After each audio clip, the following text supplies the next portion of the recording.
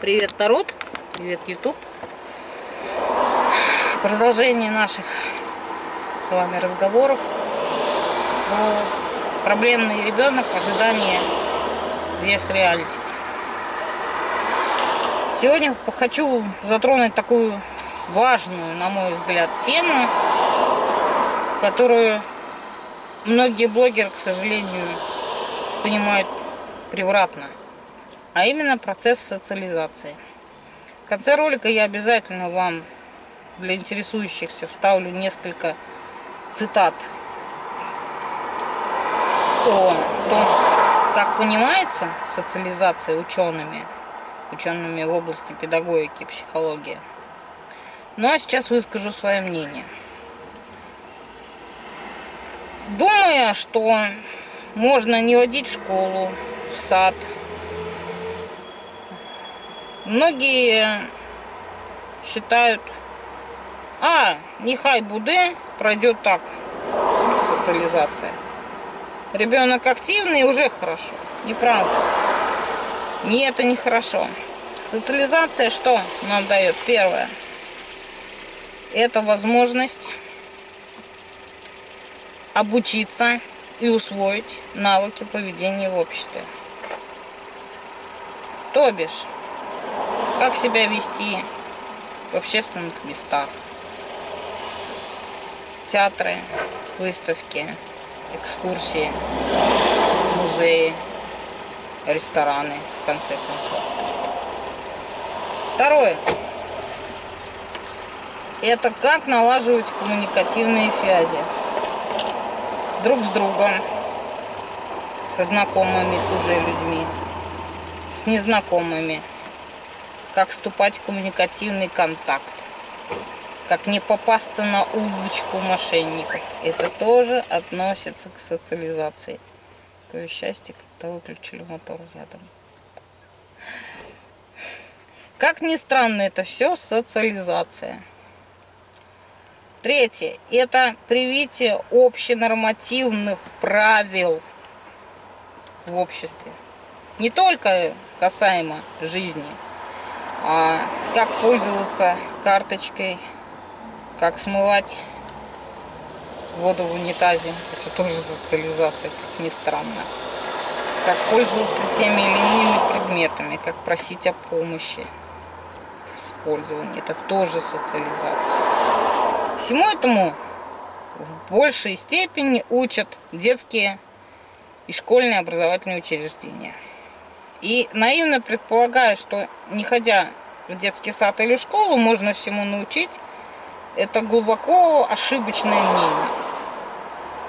Чему учит детский сад? Начнем с малого. Во-первых, это режим дня. К определенному времени вы должны привести ребенка к 8 часам, скажем, строго там, к 8 часам и в 5 полпятого ребенка оттуда забрать. В это время вы абсолютно свободны. Вы можете посвятить время себе, уборке, готовке, стирке, работе, всему чему угодно. В это время вашим ребенком занимаются. Что именно делают? В каждом детском образовательном учреждении есть расписание жизни – оно открыто, и можете посмотреть, и можете поинтересоваться в каждом, в каждом детском саду. Когда проходит зарядка, когда проходит завтрак, когда проходят занятия, когда музыкальные занятия, когда сон, когда активный отдых, когда отдых с игрушками и т.д. и т.п. Включая приезд всяких там клоунов, развлекушек, хохотушек и фотографов. Каждый сад четко наблюдать, соблюдать должен. Я соблюдает, в принципе, если это хороший сад, вот это расписание жизни. Ребенок привыкает к режиму. Не надо мне говорить про то, что нестандартное мышление и так далее. Если ребенок нестандартно мыслит, он и будет и в саду мыслить. Вы его особо не исправите. Что не надо выходить за рамки. Ну, не зря же, извините меня, в начале 20 века были придуманы детские сады.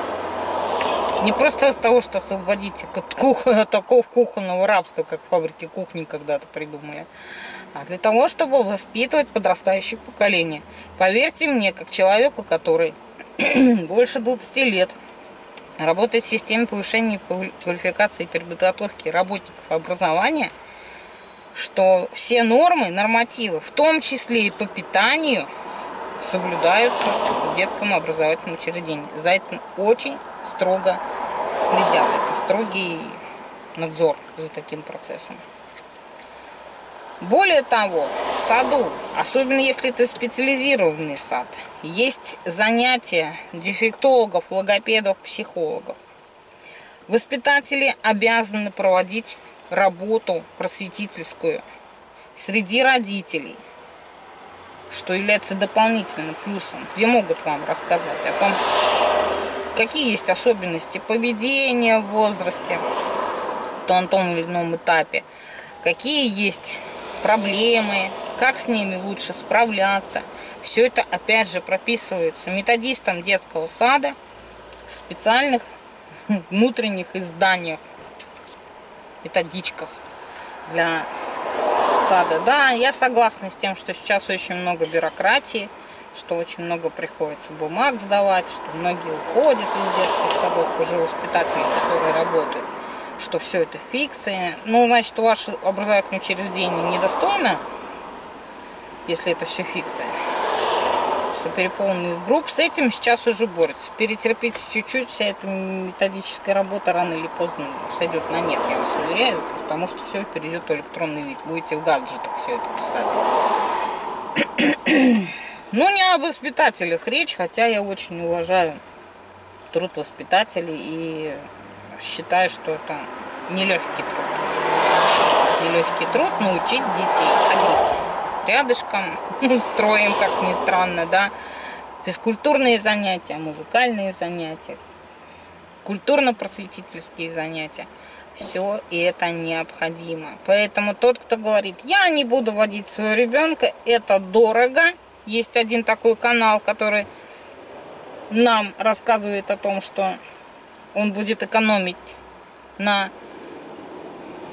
детском саду. Милейшее, а что вы будете делать в школе, если вам детский сад дорого? Зато в этот сад ходит трехразовое, четырехразовое питание. В этот сад ходят э, различные развлекушки и так далее. Там созданы условия для того, чтобы ребенок ваш днем отдохнул. Да, дом, конечно, тоже созданы условия, несомненно. Но это все не так. Поэтому детский сад это особый этап жизни ребенка.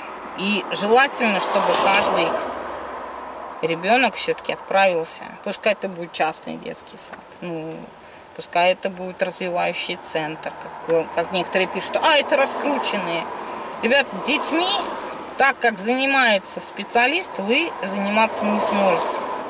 Специалисты для этого учатся от трех до 5-6 лет.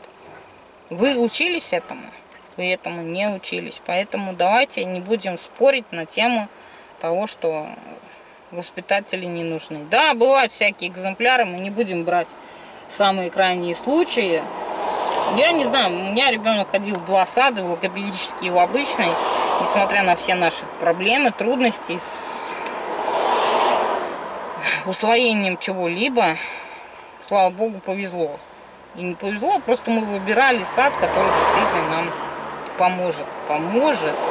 И ребенок знал, что к 8 утра как на работу, что вечером обязательно заберут, что там есть друзья, там есть знакомые, там свой мир детский, свой мир, там другие пособия специальные развивающие, там другие игрушки. Вы это дома полностью не обеспечите. Еще один фактор – это инфекции. Да, пойдет в сад, будет болеть с утра до вечера. Да, первый год будет болеть. Да, но так формируется иммунитет. Иммунная защита, хотите вы этого, не хотите. Не будете водить сад, начнете болеть в первом классе. Выбирайте, лучше переболеть ветрянкой в 3-4 года или в 7-8, а то и 18 лет. Две большие разницы. Еще один фактор, который э, нужен особенно проблемным детям, это специализированные детские образовательные учреждения. Что касается их, так там вообще строжайший контроль за исполнением всего и вся. Поверьте мне, контроль именно за поведением, за соблюдением режима дня, за выполнением обязательств профессиональных работниками. Там намного даже больше страха нагоняют на воспитателей, я, я вас уверяю, я знаю это из частной кухни, чем в обычных детских садах. Тем более наполняемость групп там небольшая, поэтому если вам предлагают логопедический сад или сад с, для детей с нарушением слуха, зрения, не сомневайтесь и идите. Не жалейте и идите. Первый, первый год-полтора будете болеть, будете.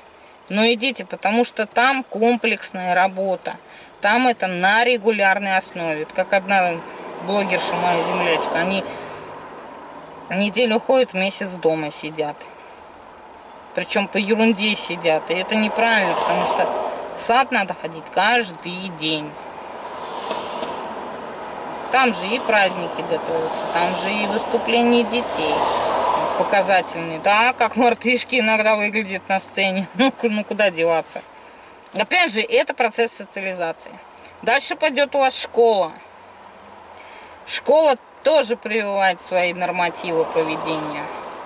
Класс более большой, как вести себя среди других людей, как обучаться этому тоже. Учить, учиться, учить, учиться один из главных принципов 21 века.